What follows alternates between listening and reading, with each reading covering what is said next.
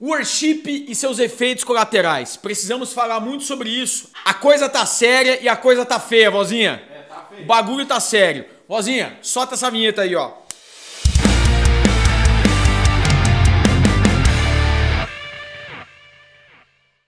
Senhoras e senhores, aqui Lucas Cavalcante no canal Veja por Outro Ângulo, eu e vozinha. É nóis. Cumprimento eu aqui, mano. É nóis. A mão, aqui, ó, a mão que balança o berço. É nóis, pessoal. Estamos aqui nesta bodega, esta coisa abençoada de meu Deus, para falar com vocês de um assunto muito sério. Worship. É, nós nunca falamos de worship aqui nesse canal, vozinha. Nunca, nunca falamos. E quando nós falamos de worship, nós não, nós não falamos de adoração, porque adoração é estilo de vida. Adoração é 24 horas por dia, é 7, é, é 24 barra 7. Então nós não temos questão com isso, tá tudo certo. Agora o worship, como estilo e modismo, esse aí é pau, vozinha. Esse aí nós vamos pra cima. É fato, pessoal, que todo movimento social que todo movimento cultural ele precisa de um de uma amostragem boa, digamos assim, para que tenhamos algo mais labor- é, laboratorial para que a gente possa analisar o nosso fenômeno. E o worship, como tal, como o temos hoje, ele começa a dar aquela bombada a partir de 2010. Mais ou menos aí 15 anos se passaram e nós temos né, um boom 2015 em diante. É, então a gente está aí num período que é possível nós analisarmos de maneira um pouco mais assim é, efetiva e assertiva sobre esse movimento. Que agora, na minha visão, nós temos visto alguns efeitos colaterais. E os efeitos que eu vou colocar aqui são intimamente da minha área. Então, para discutir, vozinha, vai ter que falar um pouquinho da minha área. Não entrarei aqui em questões é, teológicas, tem muita gente que manja muito mais do que eu, manjo nada, mas eu quero entrar em algumas coisas aqui do âmbito clínico, daquilo que eu trabalho dentro da clínica, daquilo que eu estudo. Como vocês já sabem, e chegou a hora do Merchan Neves, vocês sabem que eu lancei aqui o meu livro Lugar de Fala, que estará no arroba Pedrada Rockstore. Então, se tiver, quiser ter acesso a esse livro, tem três artigos aqui e mais dois, eu falo três mais dois, três dedicados a críticas e provocações com relação ao modismo worship e dois artigos eh, relacionados ao serviço cultico da igreja pós-moderna, que na minha visão, o nosso serviço cultico, a nossa liturgia está adoentada. Então, para você conhecer esse livro, 13 provocações aqui que nós temos, vários temas, arroba Pe- Pedrada Rockstore. E aproveitando, obviamente, quero aqui divulgar para vocês, mano, top. Eu sei que vou. O arroba Pedrada Rockstore, as camisetas dessa página abençoada que está aí mandando bala no rock cristão brasileiro, no movimento evangelístico. Aqui, mano, tá aqui. Eu não vou abrir porque tá tão bonitinho, né, mano? Mas tem esse loguito aqui, ó, top. Esse logo da Pedrada Rockstore pra você. Então lá você encontra os artigos do Fruto Sagrado, que por falar em fruto, mano, DVDzão, a volta dos que não foram, fruto sagrado. Já acabou a primeira leva, já foi pra segunda e acabou também? A, o- a, a segunda. A segunda o que mesmo? A segunda. O segundo lote do DVD A Volta dos Que Não Foram já está acabando. E, mano, corra que a polícia vem aí. Então é o seguinte, galera. Artigos do Fruto Sagrado, Banda Live, Banda New ID. Mano, você encontra um monte de coisa. E como eu não sei se eu disse pra vocês, o, o lugar de falta. Então lá, arroba é, Pedrada Rockstore. Então, mano, aqui neste livro, como eu tava dizendo, é, há reflexões que eu faço, inclusive, da clínica. E com relação ao worship, eu tenho percebido alguns efeitos colaterais deste movimento que eu percebo que, na minha visão, começou bem, mas se perdeu no meio do caminho. Nós vemos cada vez mais músicas é, extremamente melancólicas, extremamente assim introspectivas, numa relação onde Deus ele é hiper humanizado e o homem é hiper divi- divinificado.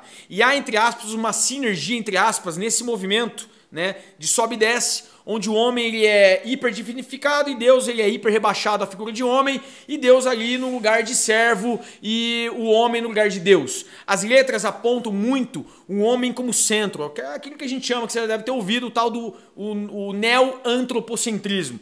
Isso é muito perigoso. E numa dessa, né, com letras dessa forma, mediadas por uma musicalidade extremamente melancólica, extremamente depressiva, extremamente narcísica. Parece, né? Isso não está só dentro da igreja, mas vocês percebem isso na cultura. Cada vez mais, para que você seja forte, você tem que ser muito, extremamente sensível, extremamente fraco, extremamente assim, é, é, desestabilizado. Porque quanto mais você tiver essa narrativa, quanto mais você se apresentar dessa forma, parece que mais forte, mais adorado você é por essa sociedade. É como se estivéssemos num ringue de uma luta de MMA e vence quem é o mais fraco. é, este é um valor pós-moderno muito perigoso e infelizmente, né, isso já está na cultura, infelizmente a cultura worship tem, tem trazido isso para as músicas. E nós recebemos um caso muito sério. E mais e mais nós temos recebido, aliás na clínica eu, tenho, eu venho percebendo isso, de pessoas, né, um, um, assim que é, escutando é, música de uma cantora muito famosa, vozinha, muito famosa, muito famosa, e um clipe que o vozinho já tinha me mostrado já, que na época quando a gente viu, ele falava, mano, olha isso daqui, um clipe extremamente depressivo, mas muito, assim, muito melancólico, onde ali a cantora tá num lugar, parece que assim, é, é, num quarto do pânico, e uma música que não, não te tira daquele rolê, daquela inércia, daquele buraco negro, uma coisa terrível e tal. E na época a gente já tinha criticado, e mano, é, para nossa surpresa, nós recebemos um caso muito sério de uma, de uma pessoa, de uma, de uma mulher, assim, é, é ministra de louvor, canta muito bem e que é, é, se embebedou desta música, se embebedou dessa artista, foi subir lá no palco, lá, lá no, no altar da igreja para executar essa música, travou e até hoje ela está assim num ritmo melancólico tão grande um trauma gerado, ela não consegue mais cantar há algum tempo já, se não me engano, aí, acho que até é coisa de um ou dois anos. Ela não consegue sair dessa situação.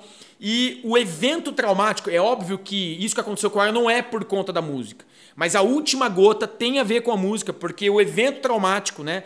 O evento ali catalisador foi com relação a essa música, foi com relação a escutar muito essa música. Óbvio que tem várias questões na história de vida do sujeito, mas ali tem uma coisa muito curiosa, muito é, é, traumática, assim, muito séria que aconteceu. Uma música de, de worship, uma música assim de louvor e adoração em tese, né? Foi ali usada é, sem querer querendo, né? E acabou tendo um problema muito sério emocional na garota. Precisamos falar muito sobre isso. Isso é muito sério. Eu tenho percebido que nesses 15 anos aí de bombar esse movimento worship, tá começando a querer dar uma semi-queda, vozinha. Sim. Tá começando a dar uma saturada. Louvado seja o nome do Senhor, que o modismo, para mim a questão é o modismo, não é o estilo musical. O estilo musical Deus usa, tá tudo certo. Eu também canto muitas músicas do movimento worship, tá tudo certo. Tem muita coisa boa, não é disso. Estou dizendo do movimento worship, do modismo. É, é, ele está dando uma caída.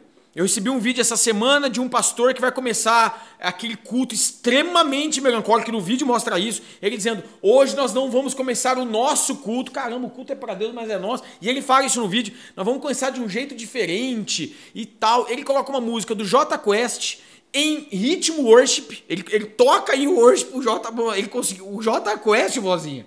Mano, isso é, é, uma, é profanar a parada, sacou? Porque o J Quest com worship é triste demais. Mas ele pega uma música num culto, que era de louvor e adoração, e a Bíblia fala para a gente entrar nos atos do Senhor com cânticos, com adufes, com danças, com, com um novo cântico. Cantai ao Senhor um novo cântico. E o cara entra de maneira melancólica, com música secular, falando um monte de coisa lá pro nosso culto, para nós. Uma coisa assim, muito sem noção. Isso parece que está passando. Percebam, todas as nossas vigílias, que músicas que nós cantamos? Assim, 90% são músicas antigas. Pode ver, a igreja sempre recorre àquilo que é de base. Quando a gente vai cantar para pessoas é, é, ou situações enfermas, questões sérias, seja de batalha espiritual, espiritual, seja o que for, naquele momento que a gente está em clamor, em adoração, sempre a gente recorre à base. Sempre é para a base, vozinha. E quando é no culto lá da parede preta, com as paradas, com as luzes e fumaça, aí a gente vai nas outras. É, isso é muito curioso. Parece que ali é coisa de criança. Aí quando o assunto é sério, a gente recorre a outras canções. Estou falando isso com base até na minha igreja. Então eu tô falando da minha casa. Tivemos uma vigília há pouco tempo que foi top, top. Nós tocamos, talvez, assim, do, do, do, dessas mais novas, do worship, talvez uma ou duas. Minha igreja é avivada. E a gente só recorre a músicas com letra, com conteúdo, com musicalidade, com harmonia, onde o todo ele toca na gente de maneira homeostática. E isso é algo muito sério que nós precisamos falar. Precisamos questionar isso nas nossas igrejas. Precisamos questionar as letras. Precisamos questionar a fotografia dos clipes. Precisamos questionar o roteiro dos clipes. O que nós estamos querendo? Tocar emoção, tocar coração é, é, é, é, de maneira emocionalista, de maneira depressiva, maníaco-depressiva, chegou a hora de apresentarmos um novo cântico ao Senhor. Cantai ao Senhor um novo cântico.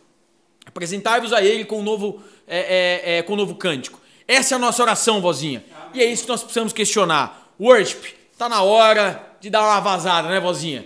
Precisamos voltar com as gruveiras, precisamos voltar com os naipes, precisamos voltar com os solos, precisamos voltar com músicas com conteúdo. Então, mano, estamos aqui para anunciar que nós estamos aí com o nosso projeto da Raizeira. Já deve ter acontecido aqui no nosso canal. Se não aconteceu, acontecerá muito em breve. Nós estamos com esse projeto no Veja para Outro Ângulo, que é um projeto antigo, da época que ninguém ligava para nós, que continua não ligando, vozinha, mas ligavam menos ainda nós já falávamos sobre isso, então não venha falar que é coisa de agora, porque nós já falávamos lá nos áureos de 2015, 2016, nós já falávamos sobre isso. E agora nós estamos efetivando esse projeto que é uma live com a banda, uma live com a banda live, mano, com músicas antigas, com e não é, não é que a gente quer ser saudosista, tem muita coisa boa que tem aí, né, vozinha? Tem muita coisa boa do hoje porque a gente pode fazer que com música, com música boa, tudo certo. Mas quando a gente fala antiga é porque a maioria tá lá. Infelizmente, porque lá ainda a parada, a base tá lá. Precisamos montar uma, uma nova base. Então, esse projeto que é a live com música, palavra, ministração e tem solo, vozinha. Tem solo. Tem solo, mano. Pode. Tem riff. Entendeu? Tem letra, tem conteúdo, tem harmonia, tem palavra, tem leitura, tem confrontamento ou confrontação tem, tem confronto. Tem confronto de caráter, tem confronto é, do evangelho. Tá beleza? Então, se inscreva neste canal, compartilhe esse vídeo, faça seu comentário aqui, o que, que você pensa sobre isso, sobre esse modismo, sobre esse movimento. Está em alta, está estabilizado, está em queda? Eu acredito que está em queda, mas vamos lá, compartilhe esse vídeo, toca aí o seu sininho, deixa ele, ative ele e vem com a gente. É Veja por outro ângulo.